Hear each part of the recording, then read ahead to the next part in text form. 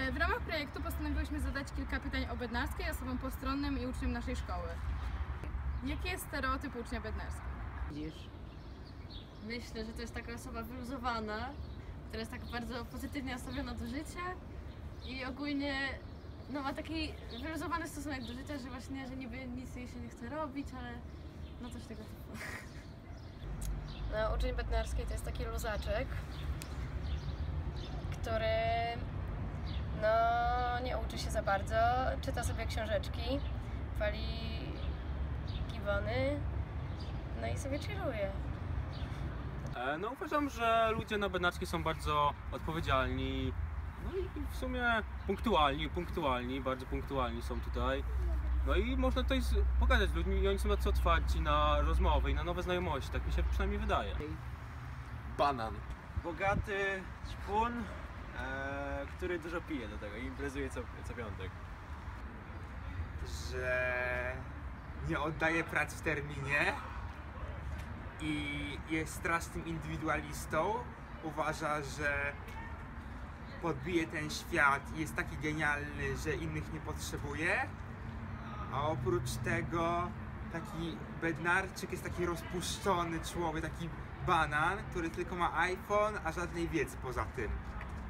Stereotypowy uczeń bednarskiej to przede wszystkim banan, melanżowicz, no i ogólnie no po prostu banan, to jest szkoła bananowa.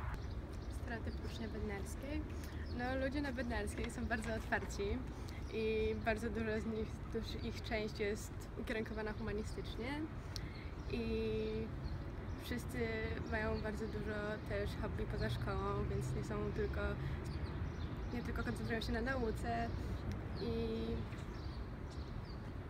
i, i bardzo dużo z nich robi różne projekty poza mm, artystyczne Słyszałem, że dobrze się bawią i w ogóle Generalnie to będzie taki Lancer Lamus, że będzie się woził dużo, ale generalnie nie ma za dużo do zaoferowania. Więc wydaje mi się, że tak jakby na Bednarską częściają tak jakby osoby, które albo się dostały do innych liceów, albo takie osoby, które w sumie nie za bardzo chcą się zauczyć jakoś tak w tym wieku 17-19. Yy, taki trochę chiller, yy, trochę hipster, yy, ale inteligentny i z ciekawymi zainteresowaniami.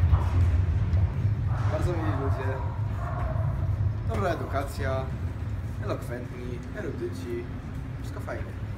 Jakim trzeba być człowiekiem, żeby uczyć się na Bednarskiej? Myślący. Trzeba myśleć. Trzeba być na pewno e, osobą w wieku, która chodzi do liceum albo gimnazjum, żeby się tutaj uczyć. No i najlepiej być w sumie bardzo punktualnym, bo tutaj nie ma na przykład dzwonków i trzeba samemu ogarniać takie sprawy. No i uważam, że no nie wiem, trzeba być osobą wyróżniającą się z tła. Inteligentnym. Myślę, że wystarczy taka otwartość i chęć współpracy. Bo nawet nie chodzi o jakąś właśnie wiedzę konkretną, tylko właściwie chęć do komunikacji zarówno z nauczycielami, jak i uczniami. I taka otwartość. Musisz mieć coś do powiedzenia i w sumie to nie możesz bać się czegoś mówić. No i tyle. Każdy może się uczyć na bednarskiej. Myślę, że trzeba jakoś.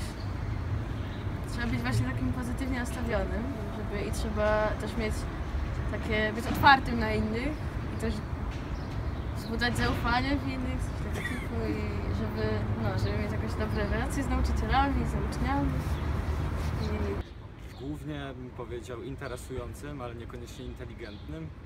Eee, Dobrze, trzeba wiedzieć czego się chce. Pierwsza rzecz, która przychodzi Ci na myśl, kiedy usłyszysz słowo Bednarska. Jak wspólnota, nasza szkoła, jakoś tak. Przychodzi mi na myśl ta sprawa, kilka lat temu jakiś chłopak się zabił pod, od, z powodu tego, że przedawkował marihuanę. Eee, nietypowa. Banan. Ludzie. Melanż. Krysia Starczewska. Eko. Spoko. lamusy. Słowo na przykład e, przyjaciele, bo wydaje mi się, że to mogą być przyjaciele, bo tutaj dużo jest przyjaciół i to jest bardzo takie fajne miejsce. Tak, mi się wydaje. I jaka jest najgorsza plotka, jaką słyszałeś o Bednarskiej? No to chyba bas. I ogółem rzeczy związane z basem. To właśnie te stereotypy, co powiedziałem na początku, że to jest ćpalnia tylko dla bogatych dzieciaków.